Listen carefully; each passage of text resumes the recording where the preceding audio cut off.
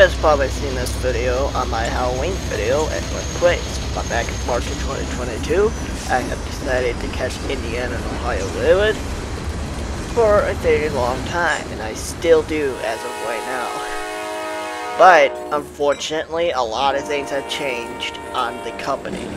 Genesee, Wyoming, is decided they're not gonna get into their old power anymore, so they decided to give Indiana and Ohio and whatever Genesee, Wyoming, like out east or anywhere, like some new power.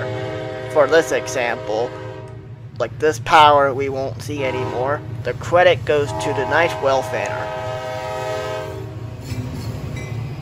Like all of these SD40s that were in the consist on the Washington Courthouse, you would not be able to see because some of them are gone already. In 2024, some of these or all of these were either kept or in storage at Norwood, where their headquarters are at. February of 2023, you'll still be able to see the SD40s, but within a few months, that would all change. But the leader for today would be 3489, which is capped in, in storage at Norwood, Ohio. So the 3313 is the trailing unit that's on Ohio Central. You you still will be able to see that, but you would have to go all the way down to Columbus or somewhere in Ohio trackage. 2101 is still wanting, switching in Leipsic, and now the 60M are now all gone to LTX.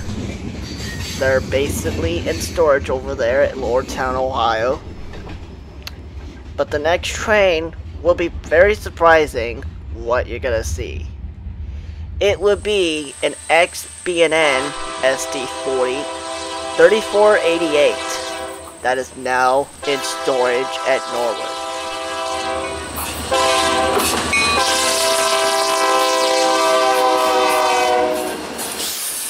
And ever since all of these units, like SD40, D&D, they're on storage or either that, they're in some different railroad now.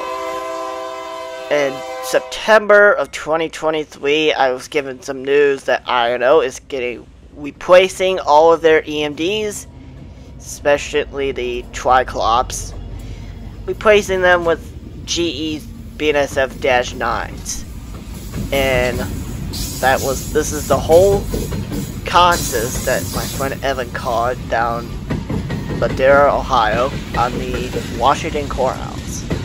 Two CS6-8s which are now into the INO paint scheme. There is the CNO sticker and by the time of February of 2024 I was lucky to get the flatline turn with the two SD40s remaining that are still running up here. The fact that after these the 40s were going south, the GEs replaced them for the flatline turn now. So this will be the last time I would have saw the EMDs that was running on the flatline turn.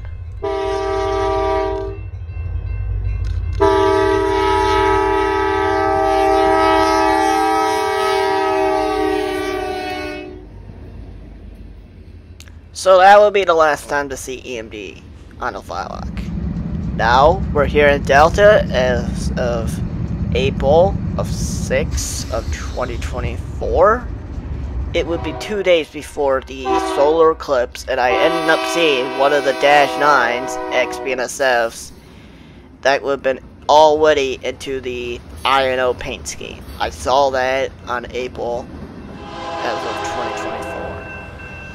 Now, this is June of 2024, and basically the Dash 9s are leading the flatline turn now, so yay, this is going to be our current power for any type of train, for any trains, honestly. because the walk train hasn't won ever since down in Cincinnati. They haven't won in a little while. And basically, all the 40s are in storage. So that's kind of sad that all the GEs are replaced END and 40s. But I will say this though, a couple weeks back in July, I ended up seeing a pretty well good contest I thought it would be going north just one day, but I ended up seeing the Leipsic local that comes out of Lima and do some switching around Leipsic, Ohio.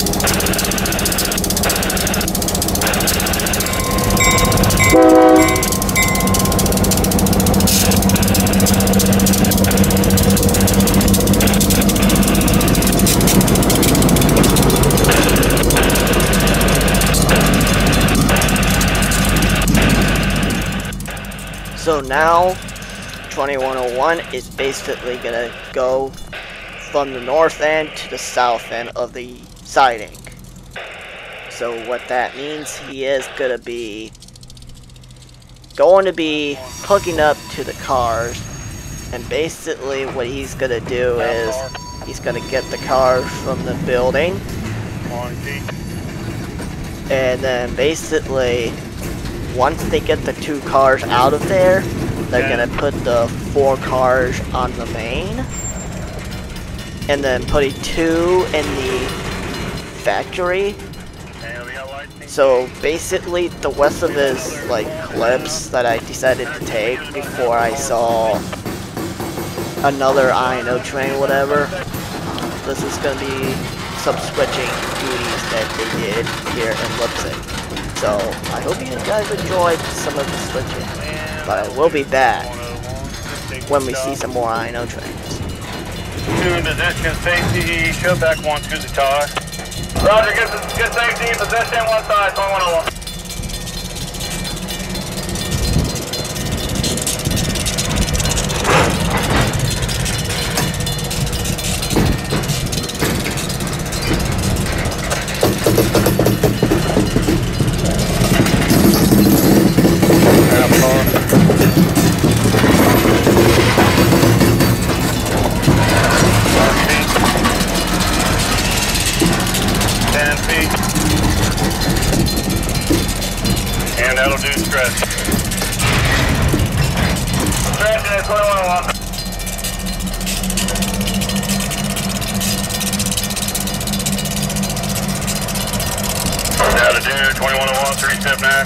Three stepper!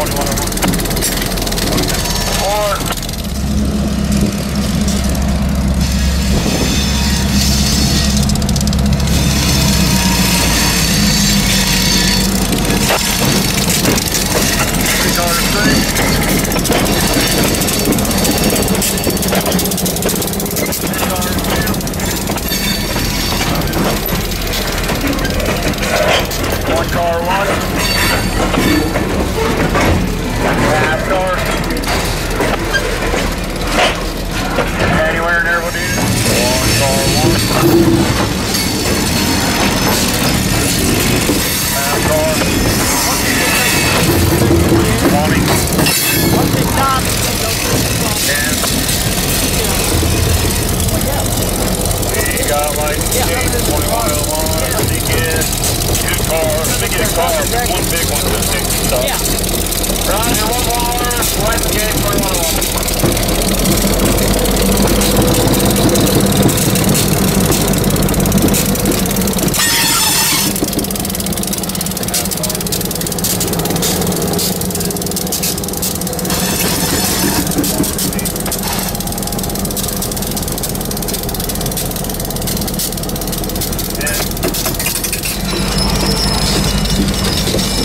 Twenty-one oh one, one car one. And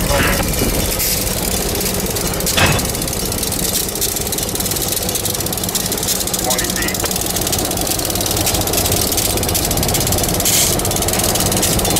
Ten. Five.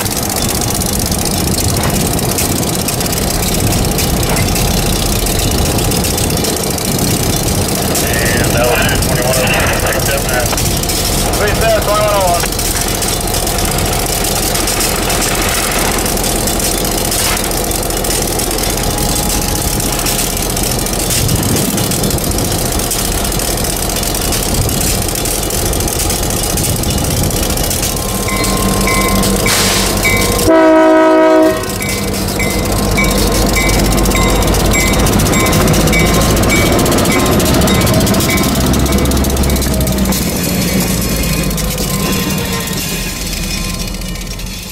So, they got done doing their switching here. We decided to head back to CSX, where we would do some our final well fitting before heading back home. Within a week later, we are back in Leipsic, Ohio, and we end up seeing 2101 just sitting here for a few hours. And my surprise is that the Lima North is heading to Delta today with two dash eights and one dash nine that is trailing third out of three. The crazy thing is though, the marker lights are on, so that makes the chase even worth it.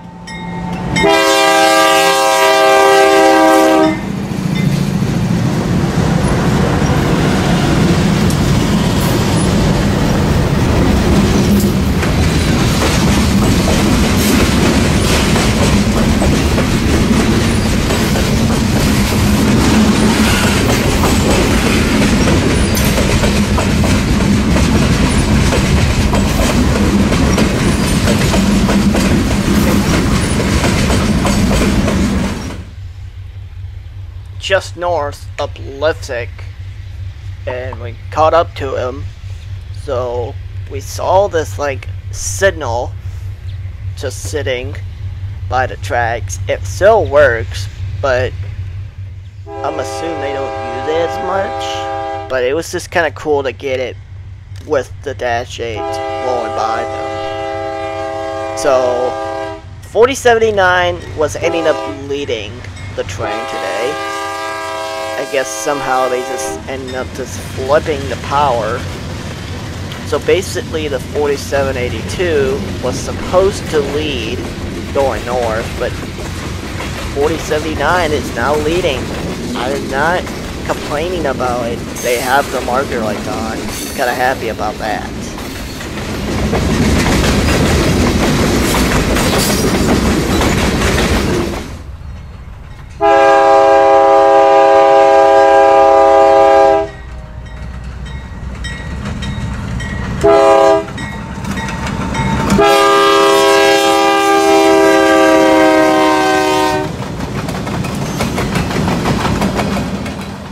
So basically, we're south of Hamler, trying to get to Hamler on time before we miss the the turn going by the old R2 DT&I signals. But we were thinking about crossing the road before the train got to the crossing. But we said, nah, we ain't gonna worry about that. We're just gonna wait till the train passes us so we can proceed to go to Hamler. which was a good, very good idea. There's a lot of accidents that happen. We didn't want to do that, so that's why we just wanted to wait, waited this train to go by. We're basically in Hamler now, waiting for it to go by. And I thought I could just snap a few photos or videos of the R2 that's sitting by the old DT&I North main line. So we waited and waited and waited because we had to wait for two trains to go by on a Willard. 3.30 and they got to proceed north. They are able to go north.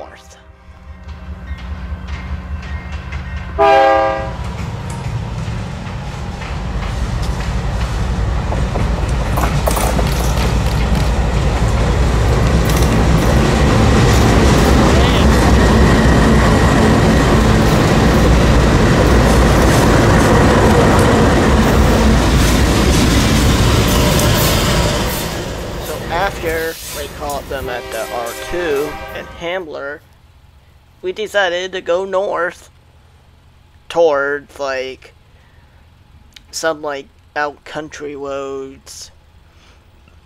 Like some of these spots that I like decide to like do at are gonna be like some like crossings. Like this one. I did like a really good shot with a photo of this train by some like pretty good flowers and stuff, so I wanted to frame that with the train.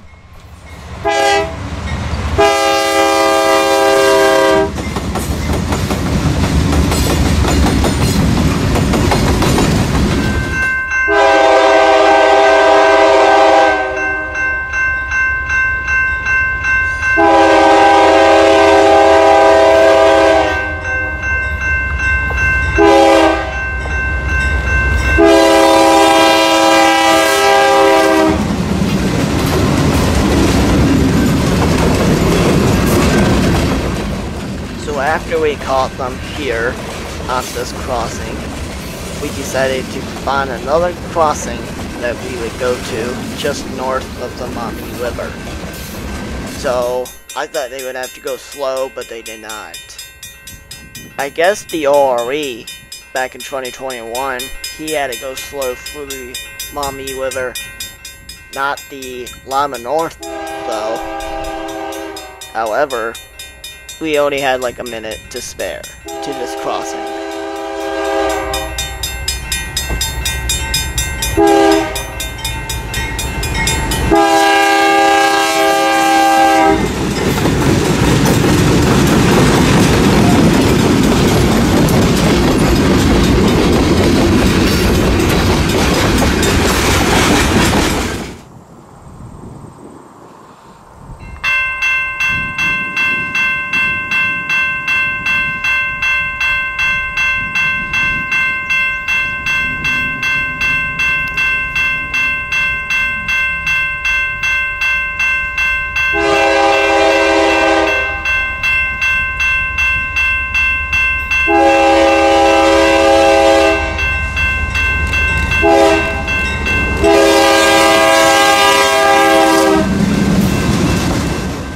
After we catch them here at milepost 79, this would honestly be the last crossing before they go into the yard. So basically, the west of the roads before the yard are basically bridges. So this kind of like sucked because we had to go on the side of a road where this was a bad idea. So I had to go. I didn't do any pictures. I just had to do video from the side of the road, which that was kind of bad idea. I'm not gonna do this again. I should have like gone to the stop sign and stopped there and done my video over there. That's what I should have done. But this will be the last time I would see the Lima North anyway. So we had a truck that was be- going to go by before the Lima North went across the bridge, but I was trying to do pictures, but it did not go well.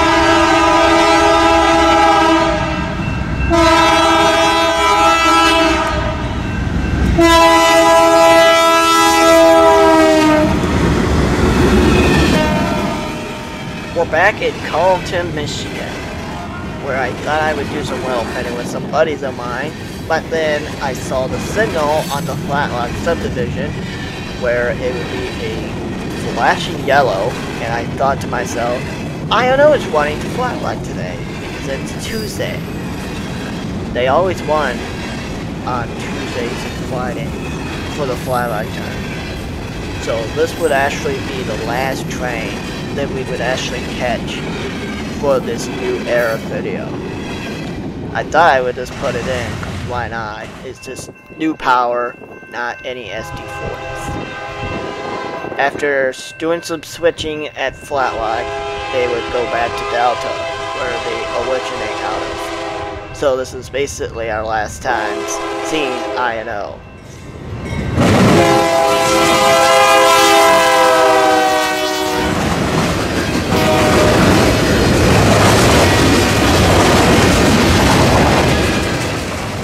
Guys really enjoyed this new era video of INO, please give the video a thumbs up if you guys really enjoyed it. But unfortunately today's video ends off here in Carleton, Michigan. Thank you for watching. I'll see you guys either the Michigan State or the Buckeye State Bells.